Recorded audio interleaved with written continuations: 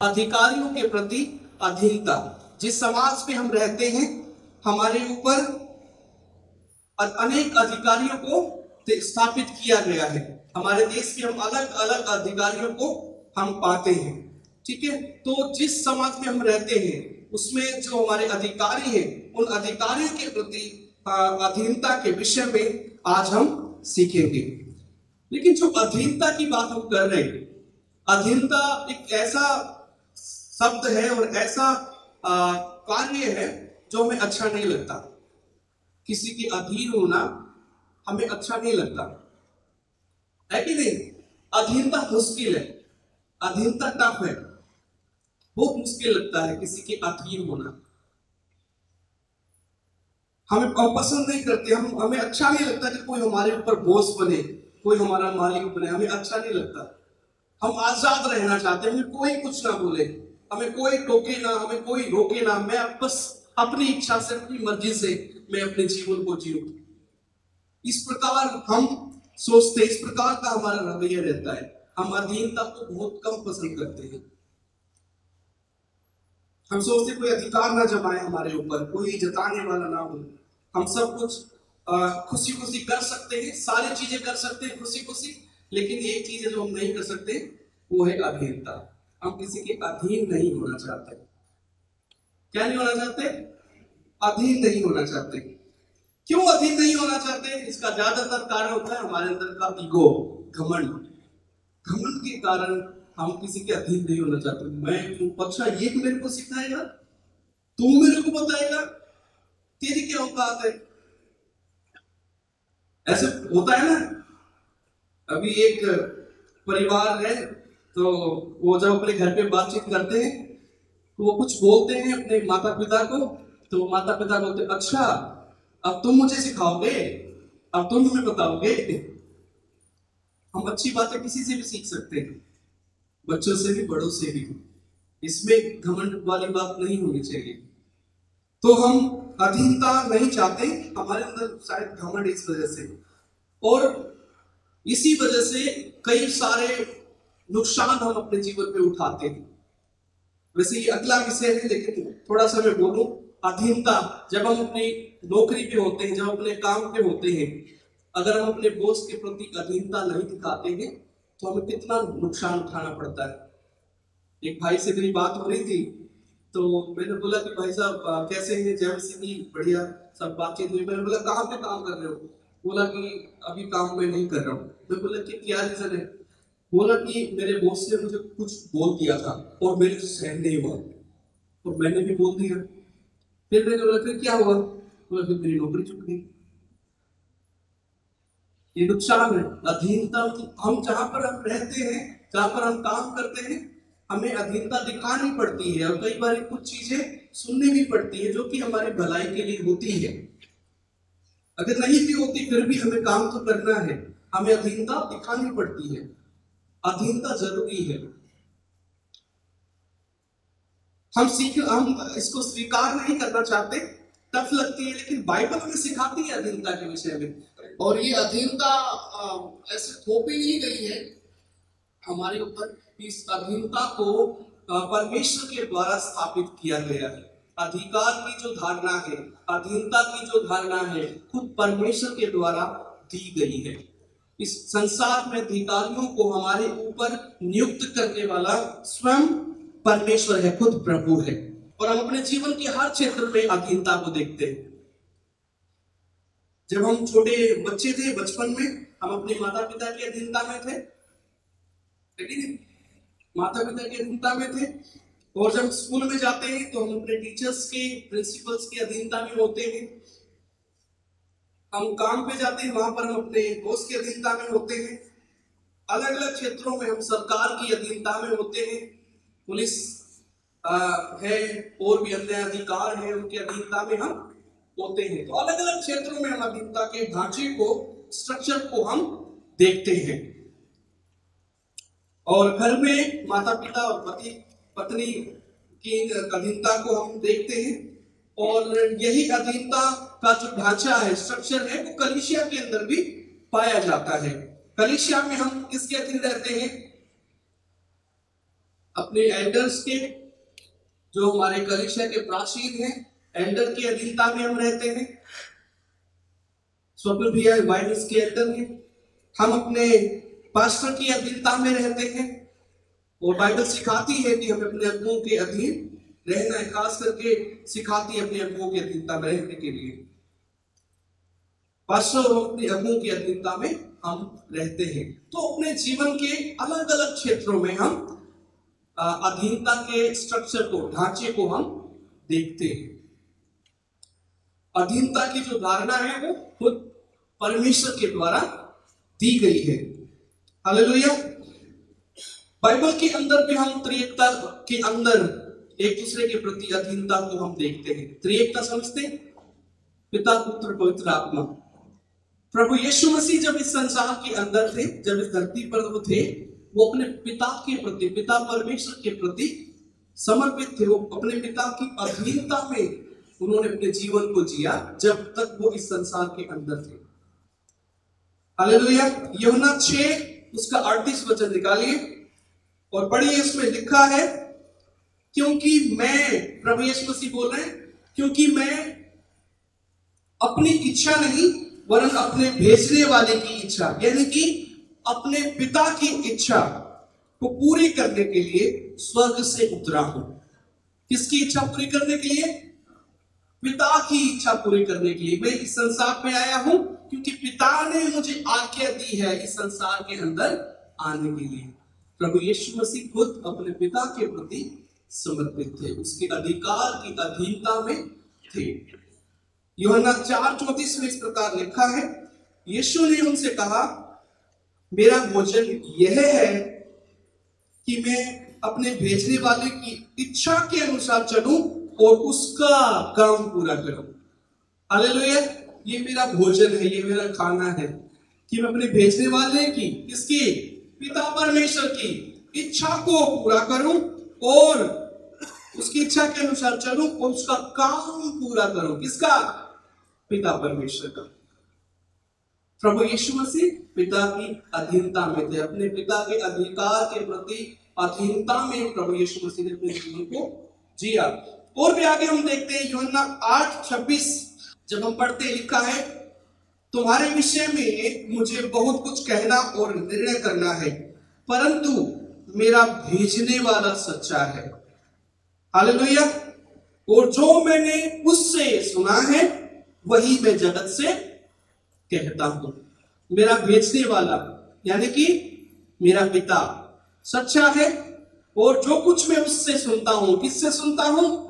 अपने पिता से सुनता हूँ, वही मैं जगत से कहता हूँ। हालेलुया। अपनी मर्ज़ी से नहीं, मेरा पिता जो मुझे बोलने के लिए कहता है, कहने के लिए कहता है, करने के लिए कहता है, वही मैं करता हूँ, वही मैं कहता हूँ। हालेलुया। इन भागों में हम देखते हैं प्रभु यीशु मसीह की अधीनता अपने पिता परमेश्वर के प्रति। एक और वचन है, योहन्ना पंद्रह, उसका दस। यदि तुम मेरी आज्ञाओं को मानोगे तो मेरे प्रेम में बने रहोगे, जैसा कि मैंने अपने पिता की। किसकी? जैसे कि मैंने अपने पिता की आज्ञाओं को माना है और उसके प्रेम में बना रहता हूँ। हालेलुया। अपने पिता की आज्ञाओं को माना है। प्रभु यीशु मसीह, अपने पिता परमेश्वर के प्रति अधीनता का जीवन उन्होंने जिया जब वो इस संसार के अंदर थे। हालेलुया। त्रिएकता के अंदर हम अधिकार के अधीनता के ढांचे को हम देखते हैं, जिससे कि हमें पता चलता है कि अधिकार की जो, अधिकार की जो धारणा है, जो अधिकारी हमारे ऊपर स्थापित किए गए हैं, वो संसारिक बुद्धि से नहीं हुआ, वो परमेश्वर की योजना का हिस्सा है। अधिकार के जो धारणा है, वो परमेश्वर के द्वारा हमें, हमारे ऊपर दी गई है। और ये अधिकार की जो धारणा है, सृष्टि की शुरुआत से ही इस सृष्टि के अंदर संसार के अंदर हम देखते हैं। इसकी शुरुआत में ही इसको स्थापित कर दिया गया था। आप सोच के देखिए, अगर इस संसार के अंदर अधिकार, जो अधिकारी ना होते, कानून कानून व्यवस्था नहीं होती तो इस संसार की हालत कैसी होगी? ये सच है कि कानून व्यवस्था होने के बावजूद भी काफ़ी सारी चीज़ें गलत हो रही है। लेकिन सोच के देखिए अगर बिल्कुल नहीं होती तो क्या हालत होती? किसी का कोई अधिकार नहीं, कोई किसी को रोकने वाला नहीं। कोई किसी के काबू में आने वाला नहीं होता उसका। अगर कानून नहीं होता, अगर अधिकारियों को नियुक्त न किया जाए तो दुनिया की हालत बहुत बदतर हो जाती। हालेलुया। और हमें इस संसार की जो अधिकार है, उसके अधीन हमें रहने की ज़रूरत है। बाइबल हमें सिखाते हैं। हालाँकि संसार में जिनके अधीन हमें रहना है, वो उत्तम नहीं है अच्छा नहीं है, परफेक्ट नहीं है। हम इसके अंदर बहुत सारी चीज़ों को देखते हैं। हमारा दिल तैयार नहीं होता। सरकार के प्रति अधीनता को अधिकारी के प्रति अधीनता को हमारा दिल स्वीकार नहीं करता। हमारा दिल नहीं कहता कि हम उनको, उनके अधीन रहें। हम उनके अधीन नहीं रहना चाहते। क्यों? क्योंकि हम उनमें झूठ देखते हैं, नफरत देखते हैं, भ्रष्टाचार देखते हैं, रिश्वतखोरी देखते हैं। इन सारी चीज़ों को देखते हुए हमारे, हमारा मन, हमारा हृदय, हमारा जीवन अधीनता में, सरकार की अधीनता में, अधिकारियों की अधीनता में, जो हमारे ऊपर नियुक्त किए गए हैं, नहीं तैयार होता उनकी अधीनता में रहने के लिए। और मन हमारे मन में यही आता कि ये तो बिल्कुल भी सही नहीं अच्छा नहीं है। हमारे अंदर विरोध की भावनाएँ आती हैं। और हम अपने आप से कहते हैं कि जब ये सब कुछ ऐसा है तो मैं क्यों इनके अधीन रहूँ? और हम अपने अधिकारियों की खिलाफत करने लगते हैं, खिलाफ बोलने लगते हैं, कुड़कुड़ाने लगते हैं। कोई भी सरकार जो है परफेक्ट नहीं है। जो फ़िलहाल है, वो भी परफेक्ट नहीं है। जो पीछे थी, वो भी परफेक्ट नहीं है। जो आगे आने वाले, वो भी परफेक्ट नहीं होगी। कोई भी सरकार जो है, वो परफेक्ट नहीं है। और आप लोगों को मैं बताना चाहता हूँ, याद रखिए, जब पत्रस इस पत्र को लिख रहा है, इन लोगों को, जो विश्वासी लोग जो इधर उधर भटके हुए हैं, जब इनको ये पत्र लिखते हैं तो वो एक बहुत बड़े सताव से होकर वो जा रहे हैं। और आपको पता है, उस समय में एक सम्राट नीरो थे। कौन थे? रोमी सम्राट नीरो, जिसको इतिहास के अंदर सबसे क्रूर शासक माना जाता है। जिस समय पत्रस इस पत्री को उनको लिख रहा है, और सरकार के प्रति, अधिकारियों के प्रति अधीन रहने की बातें जब वो कर रहा है, उस समय सम्राट नीरो सिंहासन के ऊपर बैठा है। और वो बिल्कुल भी अच्छा नहीं था। मसीहियों के प्रति तो बिल्कुल भी नहीं। सम्राट नीरो के शासन में जो मसीही लोग थे, उनको पकड़ के शेरों के सामने डाल दिया जाता था। मसीही लोगों को। क्योंकि वो यीशु मसीह के पीछे चल रहे हैं। वो रोमे सम्राट बोलता था कि मैं ही तुम्हारा भगवान हूँ, मैं ही तुम्हारा ईश्वर हूँ। लेकिन मसीह लोगों ने इसको स्वीकार नहीं किया था। इसलिए वो क्या करता था? इन सबको मसीह लोगों को पकड़कर शेरों के सामने, भूखे शेरों के सामने डाल दिया जाता था और उनको मरवा दिया जाता था। ऐसे ही बहुत सारे मसीह को पकड़ के बुलाते थे और अपने महल में उनके ऊपर टार डाल के जलने वाला पदार्थ उनके ऊपर डालकर उनको, उनके, उनको आग लगा दी जाती थी। ऐसा क्रूर शासक था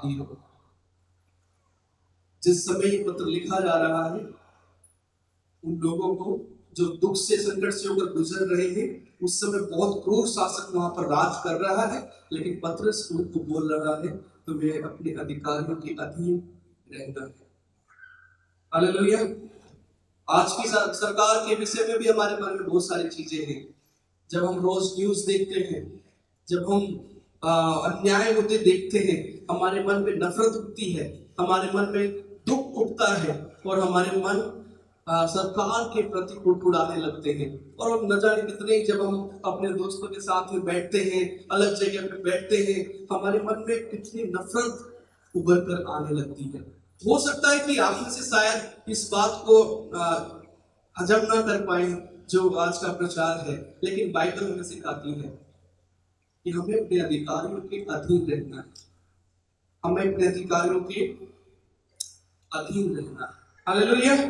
दो का तेरह चौदह पढ़ेंगे, पर तेरह में इस प्रकार लिखा है, प्रभु के लिए प्रत्येक मानवीय शासन प्रबंध के अधीन रहो। चाहे राजा के जो अधिकारी हैं, या राज्यपालों के जो उसके द्वारा कुकर्मियों को दंड और सुकर्मियों की प्रशंसा करने के लिए भेजे जाते हैं, हमें अपने अधिकारियों के अधीन रहना है। ये बाइबल हमें सिखाती है क्यों? किस अगर ये इतना ज़्यादा क्रूरता है, इतनी ज़्यादा नफरत है, भेदभाव है, रिश्वतखोरी, भ्रष्टाचार है, फिर भी क्यों हम अपनी सरकार के प्रति अधीन रहें? फिर क्यों हम उनके प्रति अधीनता को प्रकट प्रकट करें? हम उनको ना देखें। हम ये देखें, हम प्रभु में नया, नई पहचान पाए हुए लोग हैं। और हमें, अगर हमें अपनी सरकार के प्रति अधीनता को स्वीकार करना है, अपने अधिकारियों के अधीन रहना है तो किसके लिए हमें रहना है? तो हमें अधिकार के अधीन रहना है, क्योंकि ये प्रभु की आज्ञा है। क्यों रहना अधिकारियों के प्रति अधीन? क्योंकि ये प्रभु की परमेश्वर की आज्ञा है। हम संसार के अंदर हम देखते हैं हालातों को, हम तैयार नहीं है, लेकिन हमारे परमेश्वर की आज्ञा है, इसलिए हमें अपने अधिकारियों के अधीन रहना है। जब तेरा का आप शुरुआती पद आप देखोगे, लिखा है, प्रभु के लिए। किसके लिए? प्रभु के लिए। किसी मनुष्य की खातिर नहीं, किसी और चीज़ के कारण नहीं, हमें अपने अधिकारियों का दिल रहना है, क्योंकि ये प्रभु की आज्ञा है। तेरा पे हम यही देखते हैं। प्रभु के लिए प्रत्येक मानवीय संबंध के प्रबंध के अधीन रहो। प्रभु के लिए। ये सरकार जो है, आती रहेगी, जाती रहेगी, खत्म हो जाएगी। ये सरकार परमानेंट नहीं है। नफरत है, गुस्सा है, हमारे सब चीज़ें हैं। लेकिन ये जैसे और आते जाते रही ये भी चली जाएगी। और ये याद रखिए, ये परमानेंट नहीं है, ये हमेशा के लिए नहीं है। हमेशा की सरकार हमारे यीशु की सरकार है। किसकी सरकार है? प्रभु यीशु मसीह की सरकार वो अनंत काल के लिए अपने स्वर्गीय सिंहासन पर बैठा हुआ है। कब तक के लिए? अनंत काल के लिए। हमेशा के लिए। वो अपने सार्वभौमिक सिंहासन के ऊपर स्वर्ग में विराजमान है। ये सरकारें आती रहेंगी, जाती रहेंगी, ये परमानेंटली खत्म हो जाएँगी। ये कुछ समय की बात है, लेकिन एक सरकार है जो हमेशा चलेगी। वो है प्रभु यीशु मसीह की सरकार। वो अनंत काल के सिंहासन पर बैठा है। अनंत काल के सिंहासन पर बैठ के वो राज्य करता है। Hallelujah hallelujah. दूसरी बात, क्योंकि वो परमेश्वर के दास से जो अधिकारी हमारे ऊपर स्थापित किए गए हैं, वो परमेश्वर के दास प्रभु के द्वारा उन्हें हमारे ऊपर स्थापित किया गया है। हालेलुया। दबाव या डर की वजह से नहीं। ठीक है अधीन रहना है हमें। दबाव या डर की वजह से नहीं रहना। हमारे प्रभु के लिए हमें हमें सरकार के प्रति अधीनता को दिखाना है। और इस बात को पोलुस बड़े अच्छे तरीके से रोमियो की किताब तेरह एक से दो में बताता है कि वो हमारे ऊपर जो अधिकारी स्थापित किए गए हैं, वो परमेश्वर की ओर से हैं। आप सोचेंगे कि ये इतने क्रूर इतने इतने झूठ बोलने वाले, इतनी नफरत फैलाने वाले हमारे ऊपर नियुक्त प्रभु ने किए हैं। परमेश्वर के द्वारा स्थापित किया गया है। एक से दो में रोमियो किताब में क्या लिखा है? प्रत्येक व्यक्ति राज्य के अधिकारियों के अधीन रहे, क्योंकि कोई अधिकारी ऐसा नहीं जो परमेश्वर की ओर से न हो। और जो है, वे परमेश्वर के द्वारा ठहराए गए हैं। हालेलुया। जो है, हमारे ऊपर जो अधिकारी, मंत्री, प्रधानमंत्री जो हमारे ऊपर ठहराए गए हैं वो परमेश्वर की ओर से ठहराए गए हैं। पुराने नियम के अंदर भी अगर हम एक नेगेटिव तरीके सोचे कि इतना सब कुछ करते हैं मसीह के खिलाफ, फिर भी मतलब जो ये अधिकारी स्थापित किए गए हैं तो क्यों ऐसा ही कर रहे हैं? क्यों इनके अधीन पुराने नियम में जब वो यहूदी लोग थे, वो आज्ञा नहीं मानते थे, कठोर हो जाते थे, संसारिक जीवन जीने लगते थे, परमेश्वर क्या करता था? उन्हें अन्य जाति राजाओं की अधीनता में कर देता था। उनकी गुलामी में उन्हें भेज देता था। बेबीलोन के अंदर यहूदियों को ले जाया गया। नबोकदनेसर राजा की अधीनता में वो वहाँ पर रहे और लंबे समय तक वो वहाँ पर गुलाम तरीके रहे, क्योंकि परमेश्वर उन्हें सुधारना चाहता था। वो सुधर नहीं रहे थे। कठोर अंदर से हो गए इसलिए उनको नबूकदनेस्सर के अधीन कर दिया गया। तो परमेश्वर हमारे ऊपर जो अधिकार स्थापित कर रहा है, वो जैसे भी हो, जो भी कर रहे हैं, वो परमेश्वर के दास है। परमेश्वर के द्वारा उन्हें हमारे ऊपर स्थापित किया गया है। अगला पॉइंट, हमें क्यों अधीन रहना है, क्योंकि हर अधिकार के पीछे परमेश्वर का एक उद्देश्य है, एक मकसद है। जो हमारे ऊपर अधिकारी तैनात किए गए हैं, उन हर एक के पीछे परमेश्वर का एक उद्देश्य है। इसलिए हमें अपने अधिकारियों के प्रति अधीनता को स्वीकार करना है। इसलिए हमें उनके अधीन रहना है। देखिए क्या लिखा है चौदह वचन में? यह राज्यपालों के, जो उसके द्वारा कर्मियों को दंड और सुकर्मियों की प्रशंसा करने के लिए भेजे जाते हैं उद्देश्य के लिए वो भेजे जाते हैं। जो बुरा करते हैं, उनको दंड देने के लिए, जो अच्छा करते हैं, उनको उनकी प्रशंसा करने के लिए। हर एक अधिकार के पीछे इसी प्रकार एक परमेश्वर का एक उद्देश्य है। इसलिए हमें हमारे जो अधिकारी हैं, उनके प्रति अधीनता को स्वीकार करना है, हमें उनके अधीन रहना है। और क्यों हमें उनके अधीन रहना है? क्यों हमें अधीनता को स्वीकार करना है? ताकि विरोधियों के सामने हमारी गवाही अच्छी बनी रहे। पढ़िए पंद्रह को पढ़िए, क्योंकि परमेश्वर की इच्छा यही है कि तुम भले काम करके अज्ञानता की बातें बोलने वालों, मूर्ख मनुष्यों का मुँह बंद कर दो। क्या कर दो? मुँह बंद कर दो किनका जो मूर्खता की बातें करते हैं, हमारे विरुद्ध जो मूर्खता की बातें करते हैं, उनका मुँह बंद करने के लिए, उनके सामने हमारी गवाही अच्छी बनी रहे। वो विरोध करते हैं हर प्रकार की बुरी बातें बोलते हैं, लेकिन हमें अपने नेताओं के, अपने अधिकारियों के प्रति अधीनता को हमेशा दिखाना है। एक अच्छा जीवन, एक अच्छी अधीनता हमें उनके प्रति बनाकर रखनी है, ताकि हमारी गवाही अच्छी बनी रहे। वैसे वे आज तक मसीह की गवाही अच्छी रही है, क्योंकि इतिहास में कभी भी मसीहियों ने ऐसा विद्रोह नहीं किया कि किसी का नुकसान कर दिया हो या किसी को आ, मार दिया हो या किसी को खत्म कर दिया हो ऐसा कभी भी सुनने में नहीं आता। हमें आगे भी अपनी गवाही को ऐसे ही बना के रखना है। चाहे कोई कुछ भी कहे हम अपने सरकार के प्रति अधिकारी के प्रति अधीनता में हम चलते रहे। और क्या कारण इसलिए हमें अधीनता को स्वीकार करना है? क्योंकि हम आज़ाद लोग हैं। अब बोलो कि आज़ाद लोग होने का क्या मतलब है? सोलह में पढ़िए, स्वतंत्र मनुष्य के समान कार्य करो। स्वतंत्र, आज़ाद मनुष्य के समान कार्य करो। पर अपनी स्वतंत्रता को बुराई के लिए आड़ न बनाओ।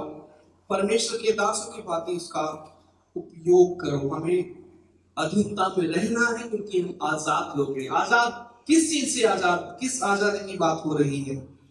हम पाप की गुलामी से आज़ाद हुए लोग हैं।